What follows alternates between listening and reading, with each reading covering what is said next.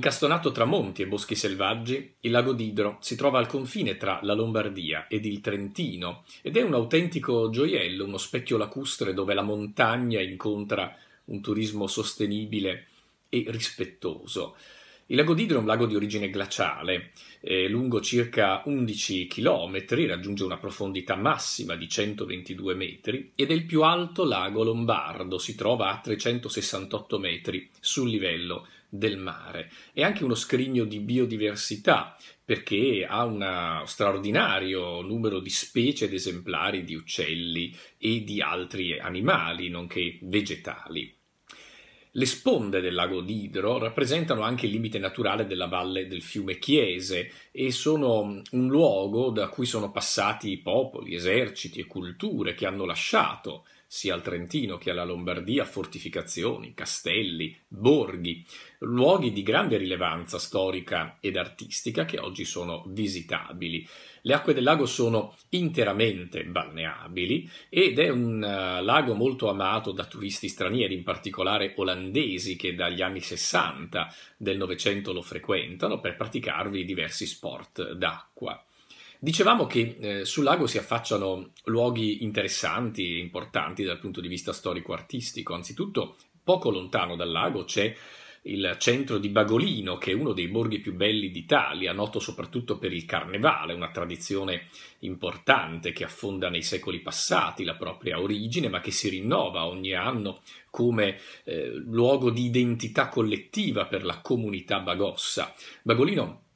è stato un centro molto importante durante il periodo della dominazione della Serenissima Repubblica di Venezia, in particolare per questo suo essere a cavallo tra il Trentino, la Lombardia, tra le valli eh, del Bresciano, la Valle Sabbia ovviamente, ma anche la Valle Trompia, la stessa Valle Camonica attraverso il passaggio di, di Croce Domini.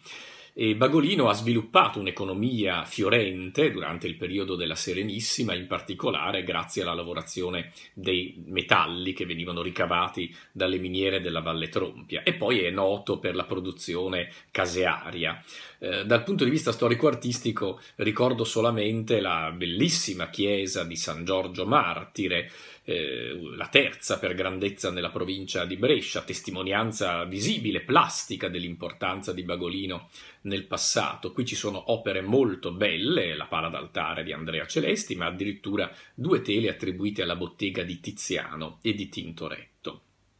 Tra il lago d'Idro e Bagolino si trova anche un monumento che ci ricorda una pagina fondamentale eh, del nostro risorgimento. Brescia è ricordata come la leonessa d'Italia, ma per il suo contributo dato durante le dieci giornate del 1849, ma ricordiamo anche che in territorio bresciano si svolse la battaglia di San Martino a Desenzano durante la seconda guerra di indipendenza, mentre qui sul lago d'Idro si è svolto un episodio fondamentale della terza guerra di indipendenza, ricordato proprio dal monumento con cui chiudo questa chiacchierata dedicata al lago d'Idro, il sacrario militare di Montesuello che eh, venne eretto tra il 1883 e il 1885 da un comitato di ex patrioti bresciani del Risorgimento a ricordo della, dei caduti della battaglia di Montesuello del 3 luglio 1866 contro gli austriaci. Il progetto del monumento fu affidato all'architetto Armanno Pagnoni e oggi il monumento mm, è arricchito da una cancellata che fu donata nel 1907 dalla provincia di Brescia in occasione della commemorazione della nascita di Giuseppe Garibaldi, che fu appunto protagonista di questa battaglia del 1866 e un busto marmoreo di Garibaldi situato all'interno del monumento è opera dello scultore bresciano Pietro Faitini.